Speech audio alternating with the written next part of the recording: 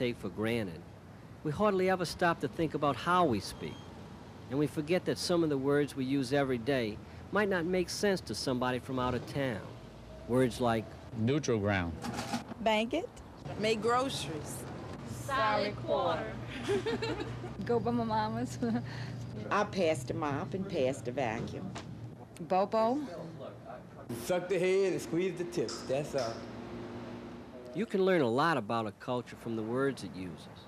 For instance, if you knew that the Eskimo language had 42 words for snow and no word for palm tree, you could get a pretty good picture of Eskimo life.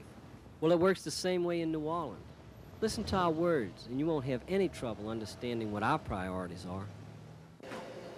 I have one remoulade, two gumbos, and a pané meat plate on table 12. We have andouille, fresh andouille. We have the fresh hot sausage jambalaya. We have the fresh Creole sausage jambalaya.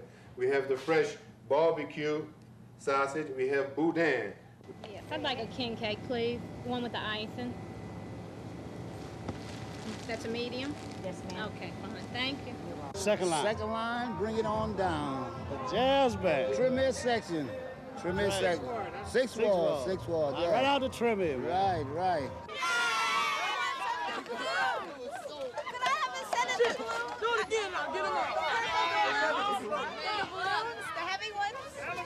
Okay, well, right now I'm with the crew of Shangri-La. I'm a maid, but normally I'm just a crew member and I ride a regular float, you know.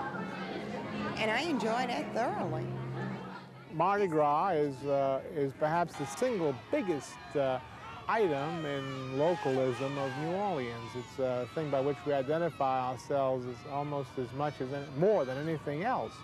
And it certainly has produced a lot of words that you have to know if you're going to talk Mardi Gras if you know what a catch is or what a throw is, if you know what a call out is, if you, if you know what, uh, what a crew is, you uh, are, uh, you identify yourself as local and uh, somebody from Houston may well say, huh? And uh, you feel superior because you've been through it and all they've got is a lot more money.